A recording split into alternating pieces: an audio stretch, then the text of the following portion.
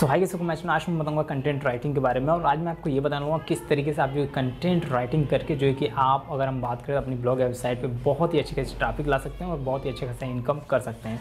यहाँ पे मैं आपको बता दूँ, बहुत सारे लोग जो है अपनी ब्लॉग वेबसाइट पर ट्रैफ़िक तो लाना चाहते हैं, लेकिन कंटेंट जो देते हैं, जो अगर हम बात करें, जो आर्टिकल लिखते हैं, उसके ऊपर फोकस नहीं करते हैं, उसके ऊपर ध्यान नहीं देते। तो यहाँ पे मैं आपको बता दूँगा किस प्रकार से जो है कि आप अपने कंटेंट को लिखेंगे, कैसे जो है कि अगर हम बात करें तो उसको अगर हम बात करें एस फ्रेंडली बनाएँगे और कैसे उसको रैंक करेंगे।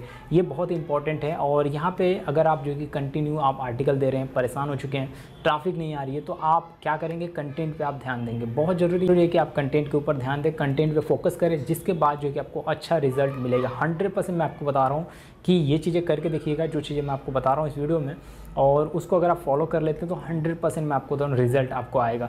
देखिए गूगल जो है कि अगर हम बात करें, बहुत ही बड़ा प्लेटफॉर्म है और बहुत ज़्यादा जो है कि ऑर्गेनिक ट्रैफ़िक सेंड करने में मदद करता है।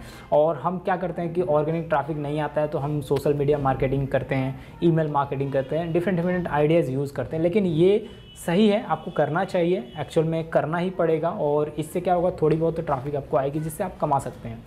लेकिन अगर वो भी सक्सेस नहीं हो रहा है, ये भी मेथड अगर काम नहीं कर रहा है social media marketing email marketing या फिर अगर हम बात करें और भी कई सारे तरीके हैं जो कि काम नहीं कर रहे हैं बैकलेंस जनरेट करते हैं हम तो आपको ऑर्गेनिक पे ज़्यादा डिपेंड होने की ज़रूरत पड़ती है। देखिए ऑर्गेनिक पे अगर आप डिपेंड रहेंगे ऑर्गेनिक ट्रैफ़िक लेके आएँगे तो इससे आपको अगर हम बात करें गूगल में जो अगर हम बात करें, आपकी डोमेन अथॉरिटी है, वो बहुत ज़्यादा बढ़ती है, बहुत ज़्यादा इंक्रीज़ होती है।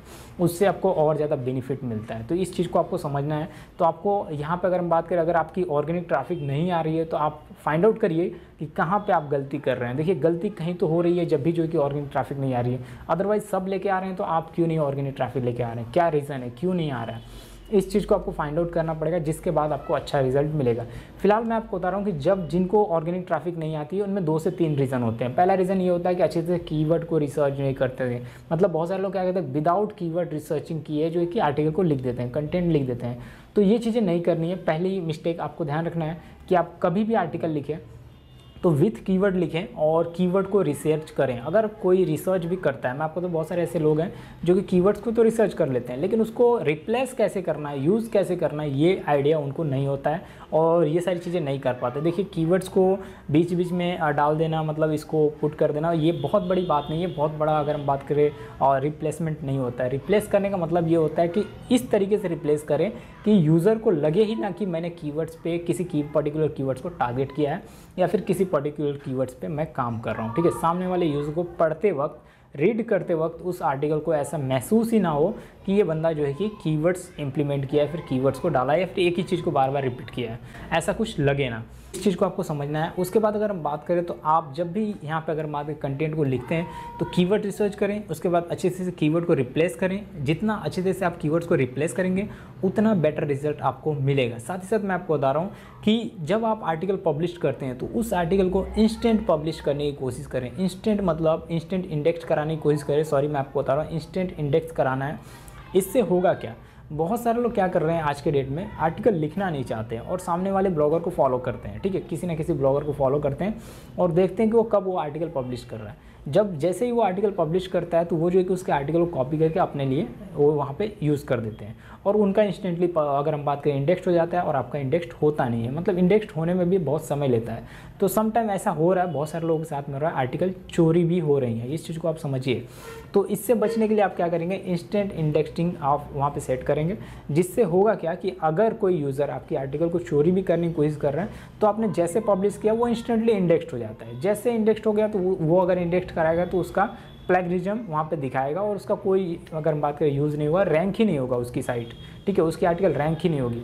तो इस चीज़ को आपको समझना है, इस तरीके से आपको काम करना है और जो कंटेंट आप लिख रहे हैं, उस कंटेंट को एक सही फॉर्मेट में मतलब ऐसा नहीं कि मतलब आप ट्रैफ़िक के लिहाज से काम कर रहे हैं, पैसे के लिहाज से काम कर रहे हैं, इस मतलब सोच से काम कर रहे हैं, इस मोटिव से काम कर रहे हैं, ये चीज़ें नहीं करनी है। आपको कभी भी ध्यान रखना है कि आप अपने बिज़नेस को आगे ले जाने के काम से मोटिव से काम कर रहे हैं और यहाँ से पैसे अर्न करने के लिए काम नहीं कर रहे हैं। ये चीज़ अगर अपने माइंड में फिट करके रखेंगे ना तो बहुत ही अच्छी तरीके से आप यहाँ से रेवेन्यू जनरेट करेंगे। लेकिन अगर आप ये सोचेंगे कि मैं कमाने के मोटिव से हूँ और कमाऊँगा ही मतलब तो ये मतलब थोड़ा सा क्रिटिकल हो जाता है और हम जो है कि काम उसी प्रकार से करते हैं। मतलब जो हमें अच्छी तरीके से अच्छी क्वालिटी के आर्टिकल देने चाहिए, वो क्वालिटी के आर्टिकल नहीं देते हैं और हमारे अंदर जो इम्प्रूवमेंट आनी चाहिए, वो इम्प्रूवमेंट हमारे अंदर नहीं आती है। ठीक है, ये चीज़ आप समझ लीजिए कि अगर आप जो है कि इम्प्रूवमेंट नहीं लाएँगे अपने अंदर, ज़्यादा से ज़्यादा मेहनत नहीं करेंगे, ज़्यादा से ज़्यादा अगर हम बात करें, अगर आपने, अगर सब कुछ आपको आ गया एस आ गया, सब कुछ आ गया, इसका मतलब ये नहीं कि आप परफेक्ट हो गए। आपको और भी चीज़ें सीखनी है, और भी चीज़ें आपको करनी है, उसको और भी इम्प्लीमेंट करना है। तो ये सारी चीज़ें आप समझ के काम करेंगे तो बहुत ही अच्छा रिज़ल्ट मिलता है और खासा फोकस करना है आपके कंटेंट पे। तो दो तीन चीज़ें होती हैं जो कीवर्ड रिप्लेसमेंट होता है, वो अच्छे से हम रिप्लेस नहीं करते हैं। और ये जो सबसे बड़ी मिस्टेक होती है कीवर्ड को रिसर्च नहीं करते हैं, ये भी सबसे बड़ी मिस्टेक होती है। क्योंकि आज के डेट में अगर आप कीवर्ड्स को रिप्ले अगर हम बात करें रिसर्च नहीं करते हैं और डायरेक्ट आर्टिकल लिख देते हैं तो बहुत बड़ी मिस्टेक कर रहे हैं, बहुत बड़ी गलती कर रहे हैं, ठीक है? क्योंकि सभी लोग इसमें कॉम्पिटिशन बहुत हाई हो रहा है और आगे चलकर और ज़्यादा हाई होने वाला है। इस चीज़ को आप समझ लीजिए। उसके बाद अगर हम बात करें तो जो कंटेंट आप लिख रहे हैं, उस कंटेंट को मे भी हो सकता है, कई बार होता है ये सारी चीज़ों के लोगों के साथ में, कि आप उसे इंस्टेंट इंडेक्स नहीं करा रहे हैं, इससे बहुत ज़्यादा इंपैक्ट पड़ता है आपकी ब्लॉगर वेबसाइट पे। सो इस चीज़ों को आपको ध्यान रखना है, जिससे अगर हम बात करें तो आपको मैक्सिमम ट्राफिक आएगी ऑर्गेनिक ट्राफिक आएगी और बहुत ही अच्छी खासी ट्राफिक आप गेन कर सकते हैं। ऑर्गेनिक ट्राफिक लेंगे तो उतना बेटर होगा और साथ ही साथ मैं आपको बता दूँ कि आपको ध्यान रखना है कि बिंग के अकॉर्डिंग भी आपको कीवर्ड्स को रिसर्च करते रहना है बीच बीच में याहू के अकॉर्डिंग भी आपको कीवर्ड्स को बीच बीच में जो कि यहाँ पे रिसर्च करते रहना है। ऐसा डिपेंड नहीं हो जाना है कि सिर्फ़ और सिर्फ़ गूगल का ही कीवर्ड में रिसर्च करो, ठीक है? इससे आप जो कि बहुत बड़ा प्रॉब्लम फंस जाएँगे। अगर आपको बिंग से भी थोड़े बहुत भी ट्राफिक आ जाते हैं मतलब बीस, तीस, पचास हज़ार की ट्राफिक आ रहे हैं तो एक अच्छा रेवेन्यू जनरेट कर सकते हैं। उसके बाद बहुत सारे टूल्स आते हैं, उसको आप परचेस करके आप आगे जा सकते हैं अपनी ब्लॉगिंग करियर में। तो ये वीडियो कैसा लगा आप जो कमेंट करिए, हम लेंगे नेक्स्ट में बात करेंगे और टिप्स एंड टिक्स के बारे में। तब तक के लिए थैंक्स फॉर वॉचिंग बाय